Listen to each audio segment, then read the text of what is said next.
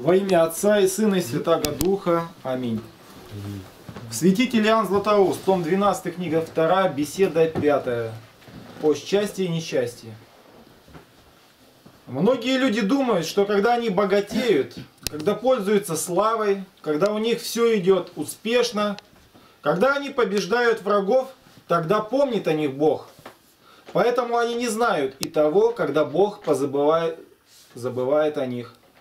Не зная признака пометования Божия, они не знают и признака забвения. Пометование Божие о нас происходит не от чего другого, как от усердного упражнения в добродетели.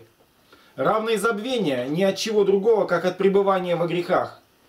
Поэтому и ты, человек, когда находишься в несчастье, не говори «забыл меня Бог». Напротив, когда ты находишься во грехах, и тогда особенно, когда все идет у тебя успешно. Трезвая и бодрствующая душа показывает свое благородство не только тогда, когда дела идут успешно, но и в случае злоключений воздает одинаковую благодарность Богу, нисколько не ослабевая вследствие перемены обстоятельств. Как многоводный поток, принимая приток, образует пузыри, из которых одни лопаются тотчас же, а другие, хотя и значительно вздуваются, тогда впоследствии лопаются. Так точно и море настоящей жизни. Одних поглощает, едва лишь они явятся, а других, у кого хватает сил на более продолжительное время, и их потопляет. И что ты смущаешься, говорит, если одни истор... один исторгнут, а другой введен в мир. Христа распинали, а разбойника Ваараву просили освободить. Убийца был предпочтен спасителю.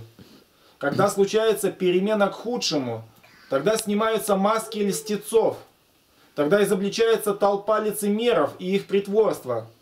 Все открываются, говоря, презренный, мерзкий, подлый, не ты ли вчера льстил ему, не ты ли лобызал его руки? То была личина. Пришло время, и я сбросил личину и открыл свои мысли. Многие сострадают друзьям, когда они терпят несчастье, но радоваться с ними, когда они пользуются славой, не могут. Действительно, радоваться с радующими не только немалая добродетель, но и даже и гораздо большее, чем плакать с плачущими и защищать их в опасностях. Многие разделяли опасности вместе с терпевшими опасности, но находившимся в счастье не сорадовались, а напротив даже огорчались. И таким образом, выдержав более тяжкое, оказывались бессильными на более легкое. Подлинно, ничто не делает людей так неразумными и преступными, как привязанность к славе. И ничто не делает так досточтимыми и твердыми, как презрение к ней.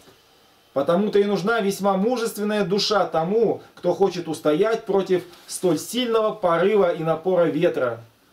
Когда человек, привязанный к славе, благоденствует, он считает себя выше всех других. Когда же терпит противное, готов зарыть себя в землю, будучи поглощаем печалью. Три отрока были вергнуты в печь, и, несмотря на это, не забыли благочестия. Потому-то огонь сделался для них стеною, пламень одеждой, печь источником. Приняв их связанными, она возвратила их разрешенными. Приняла тела смертные и не коснулась их, как бессмертных. Не познала природы, но почтила благочестие. Мучитель связал ноги, а ноги связали силу огня. О дивное чудо! Узников разрешил пламень, и сам затем был связан узниками. Благочестие отроков изменило природу вещей, а лучше сказать не природу изменило, но что еще удивительнее, не изменяя природы, остановило ее действие. Оно не угасило огня, а заставило его и горяние оказывать своей силы. И что дивно и чудно, это случилось не только с телами святых, но и с их одеждами. Как у апостолов одежды Павла прогоняли болезни и демонов, и тень Петра обращала в бегство смерть, так и здесь обувь этих отроков угасила силу огня. Не знаю, как и сказать, потому что чудо превосходит всякое слово. Огонь не угасал и не угасал. Когда прикасался к телам святых отроков, он угасал. А когда надобно было расторгнуть узы, не угасал. Узы расторг, а пят не коснулся. Видишь, какая близость. И не ошибся огонь. и не дерзнул пройти дальше уз. Для чего же мучитель связал их, намереваясь ввергнуть в огонь? Чтобы чудо было величественнее, чтобы знамение было удивительнее, чтобы ты не принял видимого за обман глаз. Если бы это огонь не был огнем, то не истребил бы уз, не попалил бы воинов, сидевших вне печи. Теперь же на бывших в печи он показал свою силу, а на бывших внутри обнаружил покорность. И когда мучитель увидел, что отрокой не потерпели никакого вреда, послушай, как он переменился. Рабы Бога Всевышнего говорит, выйдите и подойдите, Даниила 3.26. Незадолго перед тем он говорил, и тогда какой Бог избавит вас от руки моей, стих 15. Что же случилось? Откуда такая перемена? Ты увидел, как погибли бывшие вне печи, и зовешь находящихся внутри. Откуда напало на тебя такое любомудрие? Видишь, какая перемена произошла с царем? Для того и попустил Бог быть всему, чего хотел мучитель, чтобы показать, что тем, кого он охраняет, никто не может повредить.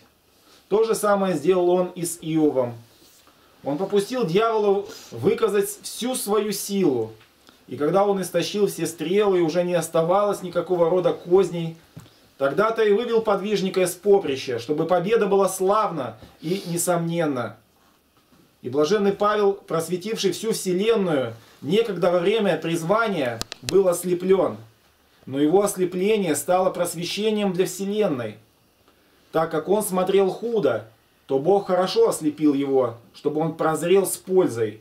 И так как он чрезмерно гнал церковь и был очень силен и неукротим, то на него налагается сильнейшая узда, чтобы он, увлекаемый порывом своей страсти, не пропустил мимо слуха сказанного ему, а также узнал, что с кем он борется, от того он не может перенести не только наказание, но даже и благодеяние, так как не мрак ослепил его, но избыток света омрачил его.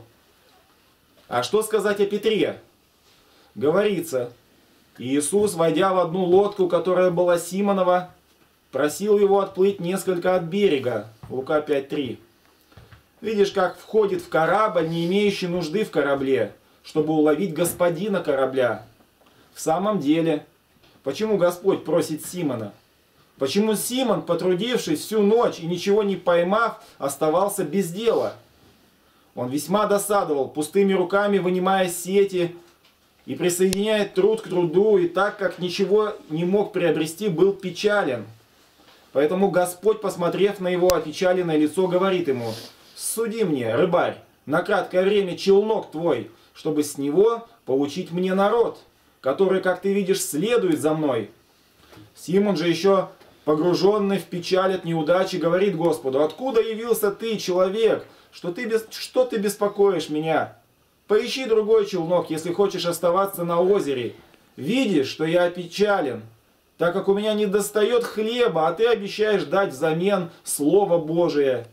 Я не вижу, где бы занять денег, чтобы накормить свою тещу и жену, а, представ... а предоставля... представлю тебе челнок, чтобы напрасно трудиться и день, как трудился ночь.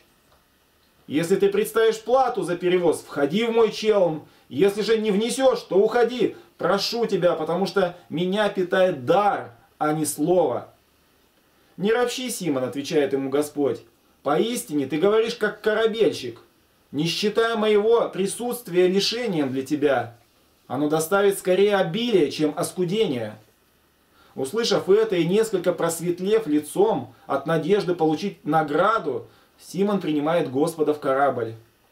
Иисус же говорится, Сев учил народ из лодки. Лука 5.3. Симон же, слушая учение, начал роптать, говоря себе, от этого ли ожидать мне получить награду? И в ночь я потерпел неудачу, и кто же встретится мне сегодня?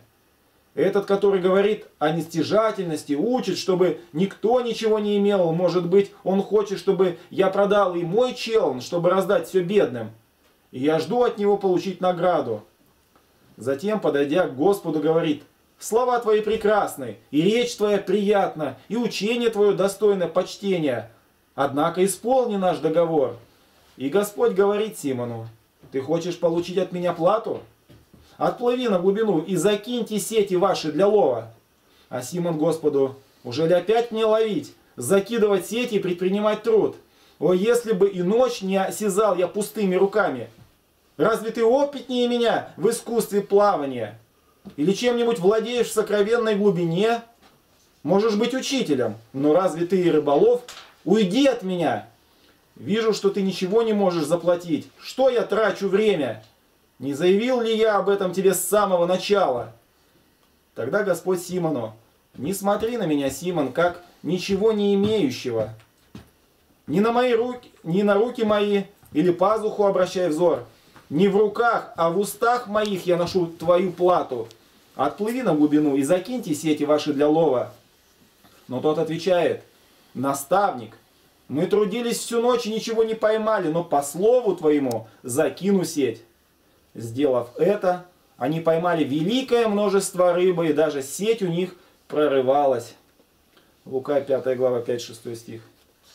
О, дивное дело! Не оставляет Петра забота. Разрывались сети, а он смотрел на Христа. Думал о рыбах и размышлял о чуде. Он не в силах был извлечь груза и позвал помощников – находившиеся в другом корабле, где были Иаков и Иоанн, пришедшие, начали собирать рыб. И чем больше собирали, тем больше последние умножались. Рыбы спешили друг пред другом исполнить владычнее повеление. Малые перегоняли больших, средние опережали более крупных. Большие перескакивали через малых, они не ждали лук ловцов, рук ловцов, а сами прыгали в лодку. Дно озера опорожнилось, ни одна рыба не хотела оставаться внизу. И так как сети прорвались, одни сами прыгали в лодку, а другие оставались около сетей, стремясь быть уловленными и не желая оставаться вдали от них.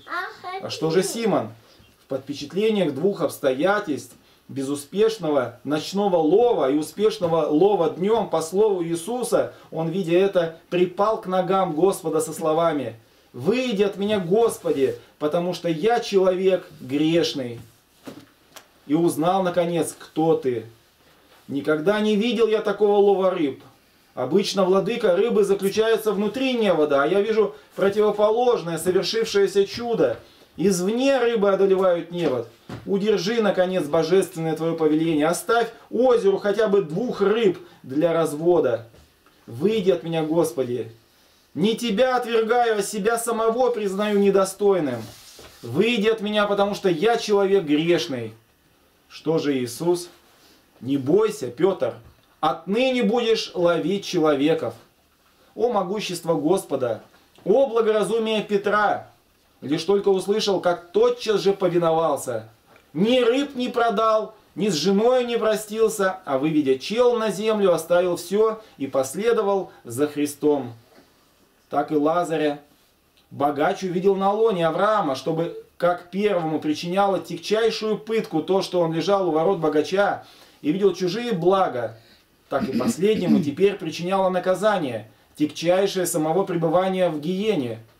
То, что он видел блаженного Лазаря, чтобы не только по свойству самих мучений, но и по сравнению с наградой Лазаря, он терпел жесточайшее наказание.